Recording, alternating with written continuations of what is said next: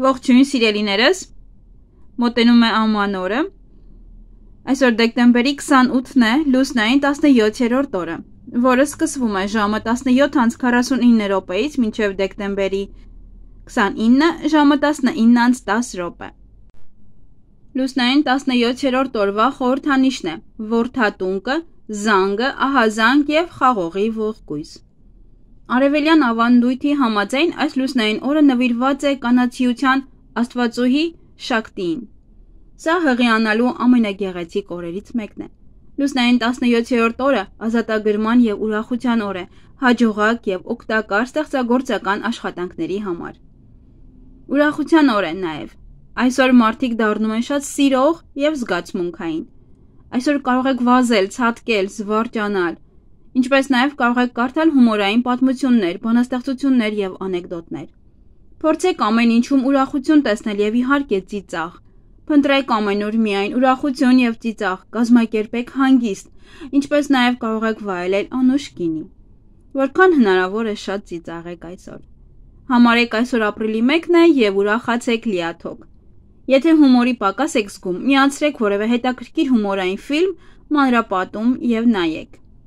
Կարող եք նաև այցելել որևէ թատրոն, հումորային երեկոների, հավաքվեք ամենաուրախ մարդկանցով եւ ուրախացեք, թեկուզ ամենաչնչին բանի վրա։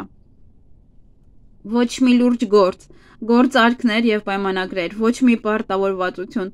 ոչ մի փոխհրաձգություն կամ կրակոցներ չեն լինի։ Հնարավոր է, որ դեռ լիալուսնից մնացած լինի որոշ ագրեսիվություն, բռնություն, ծեծկրտուկ, ալկոհոլի հետևանքներ։ Փորձեք տիրապետել ձեզ։ Այսօր շատերը ոգեշնչված կլինեն ստեղծագործելու համար։ Կարող եք կարել, նկարել եւ այլն։ Ամենակարևորը հարկավոր է ուղեղը միշտ սառը պահել։ Լավ օր է նոր բիզնեսի համար հիմքեր դնելու համար։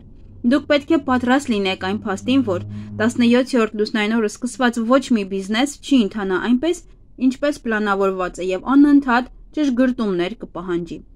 Այնպես որ այսօր միայն բիզնեսի կամ նոր գործի հիմք կարող եք գցել նաև հաշվարկել եւ այլն։ Այսօրը շատ լավ է նաև ամուսնությունների համար։ Նման միությունը երկար կլինի եւ սերը երբեք չի մարի։ Հարկավոր չէ շատ ալկոհոլ օգտագործել, քանի որ կարող են առաջանալ վեճեր եւ կռիվներ։ 17-րդ լուսնային օրերի հիվանդությունները վտանգավոր են։ Նրանք կրում են տարբեր տեսակի բարդություններ։ Այսօրը հեշտ է նաև վարակվել։ Եթե վատ եք զգում կամ ֆիզիկապես թույլ եք զգում, անմիջապես մի կուլ տվեք հաբերը։ Մի չարաշահեք դեղորայքը։ 17-րդ լուսնային օրը հատկապես խոցելի են երիկամներն ու մակ երիկամները։ Լուսնային 17-րդ օրը կարելի է մի քիչ գինի խմել, բայց ծնողները ավելի լավ է զերծ մնան ալկոհոլից, եթե նրանք որոշում են երեխա ունենալ։ Հակառակ դեպքում նա կարող է մեծանալ որպես հարբեցող եւ խափեբա։ 17-րդ լուսնային օրը ծնված երեխաները շատ երջանիկ են ընտանիքում։ Աղջիկները մեծանում են որպես հավատարիմ կանայք եւ լավ մայրեր։ Եթե ճակատագիրը նրանց չի ծանոթացնում կողակցի հետ, ապա նրանք կարող են թույլ մնալ ողջ կյանքի ընթացքում։ Նրանց համար, ովքեր ծնվել են լուսնային 17-րդ օրը, ճակատագիրը պատրաստել է երջանկություն եւ բարգավաճում։ Ճիշտ է, լիակատար երջանկության համար նրանք պետք է գտնեն իրենց զուգընկերոջը, քանի որ առանց ձեր երկրորդ կեսի դուք կկորցնեք ձեր էներգիան եւ ուժը։ Այսօրը ծնված մարդը սովորաբար կյանքում հաջողակ եւ երջանիկ է, Եթե ծնունդը շփատոր է, դա կարող է հղի լինել անհաջող լինելու վտանգով։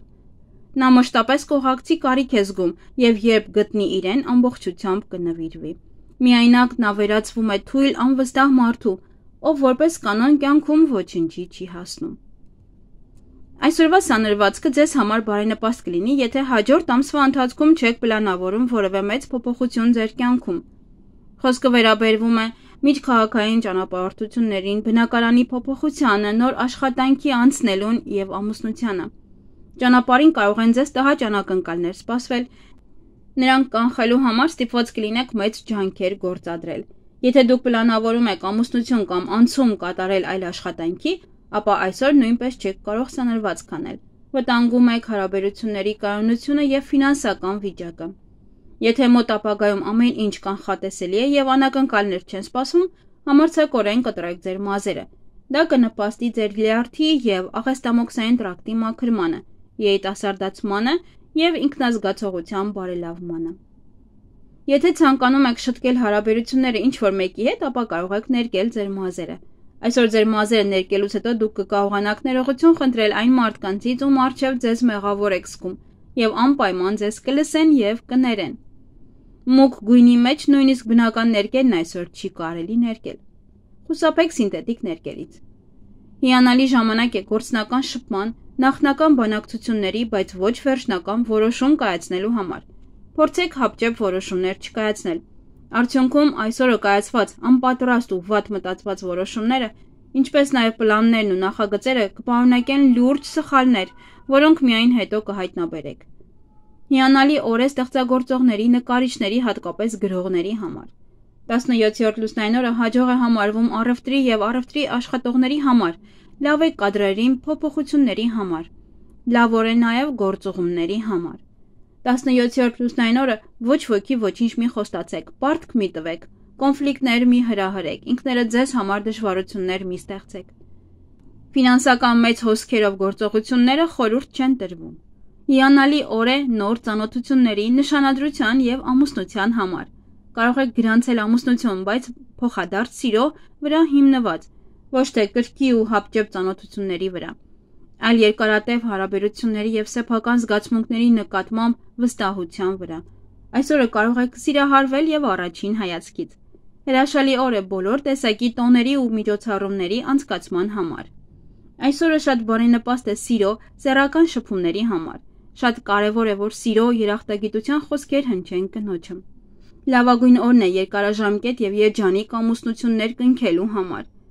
խուսափեք դժվարություններից, չվիճաբանեք եւ պետք չէ վախենալ ոչ մեկից ու ոչնչից։ Երազները կատարվում են երրորդ օրը։ Նաև լինում է, որ 18-րդ օրն է կատարվում։ Եվ իհարկե 17-րդ օրվա քարերն են ցիրկոնը, թափանցիկ ամետիստը, ագրավի եւ բազեի աչքը։ Ցիրկոնը կոչվում է ադամանդի կրծեր եղբայր։ Բժիշկներն այն օգտագործում էին արյունը դադարեցնելու, հիշողությունը բարելավելու եւ մելամաղձությունից ազատվելու համար։ Դա նաև ճանապարհորդների համար շատ լավ թալիսման է։ Այսքանը լավ եղեք։